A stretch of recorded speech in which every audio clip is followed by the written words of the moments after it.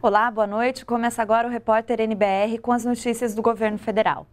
O Brasil está em ciclo de crescimento. A afirmação foi feita hoje, no Rio de Janeiro, pelo ministro da Fazenda, Henrique Meirelles, durante encontro com economistas. Meirelles também falou sobre a votação da reforma da Previdência.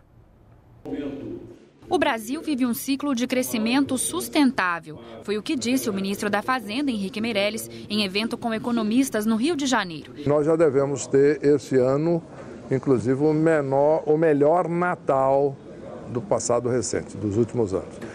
Isso vai ficar, isso vai ficar cada vez mais claro e, e, isso é o resultado do aumento da confiança, como eu mostrei na palestra, o aumento da confiança gerando um aumento eh, dos investimentos, um aumento da produção e também gerando um, uma perspectiva de, de sustentabilidade, segurança na dívida, pública brasileira e, consequência, caindo o risco país, caindo taxa de juros, etc. O ministro também voltou a defender reformas estruturais, como a da Previdência, para que o país continue a crescer. E disse que o governo está comprometido com a aprovação da matéria pelo Congresso Nacional ainda este ano. Isso é uma decisão do Congresso Nacional, não nos compete definir limites. Né? Ah, o, que, o que se espera, é uma expectativa, é que tenha uma boa possibilidade de ser votado esse ano ou uma hipótese menor no início da próxima legislatura. Ainda sobre economia, o Boletim Focus do Banco Central, com as projeções do mercado financeiro, mostra essa semana que a expectativa de inflação de 2017 continua caindo e agora é de 3,03%.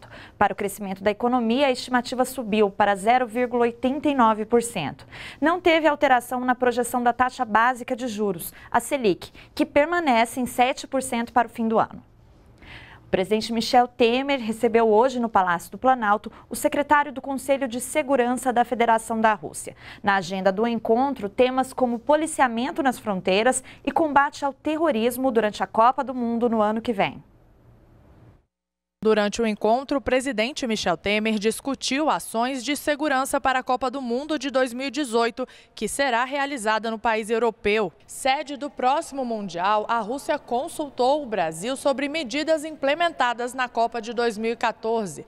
Além disso, o presidente Michel Temer tratou com o representante russo sobre crimes em regiões de fronteiras. A comitiva russa participou ainda de uma reunião com autoridades brasileiras, como o ministro do Gabinete de Segurança Institucional, Sérgio Etchegóin, o ministro da Justiça, Torquato Jardim, e o diretor-geral da Polícia Federal, Fernando Segovia. A ideia era discutir, entre outros pontos, o combate ao terrorismo internacional. O diálogo com a Rússia é fundamental para o Brasil pela experiência acumulada por nosso parceiro na defesa intransigente de sua própria soberania e da paz social necessária ao progresso econômico. No sentido inverso, cremos que a cooperação e a perene troca de informações com o Brasil também contribuirá para reforçar o bem-estar dos russos, seja pela experiência que nós mesmos construímos, seja pela influência que temos sobre os destinos da América do Sul, a qual a Rússia não é indiferente. E é nesse contexto de estreitamento amplo de vínculos que recebemos o encargo de aproximar também as nossas agências de inteligência e de segurança. O número de empregados das estatais é o menor em quase sete anos com os programas de demissão voluntária, os PDVs. O lucro também aumentou. Os números foram divulgados hoje pelo governo por meio do Boletim das Estatais Federais do terceiro trimestre.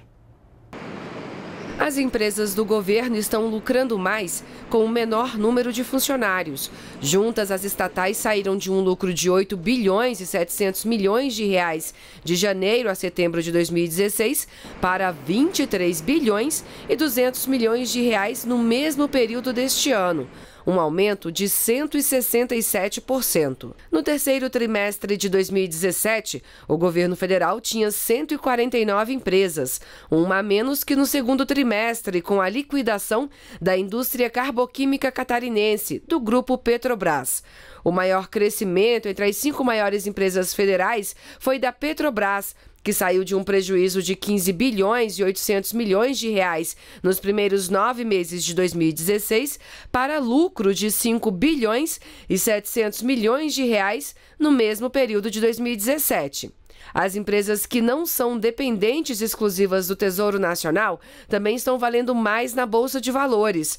No último ano, o Banco do Brasil teve um crescimento no valor de mercado de 53%. Já a Petrobras teve uma valorização de 7,8%. As estatais também estão com menos empregados. Só neste ano, a redução no quadro de pessoal foi de mais de 26 mil funcionários. A maior parte dos desligamentos ocorreu na Caixa Econômica e nos Correios, com os planos de demissão voluntária. Comparado a dezembro de 2015, a redução total do quadro de pessoal das estatais foi de quase 8%. A sustentabilidade das empresas, a eficiência, a produtividade, ou seja, a própria continuidade das empresas estatais, ou seja, elas continuarem mantendo seu serviço depende dessa redução de custo, desse aumento da produtividade.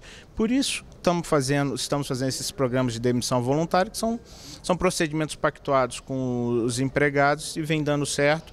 E vem dando tanto, tanto certo que a gente vê o resultado aí de melhoria, resultado líquido das empresas estatais.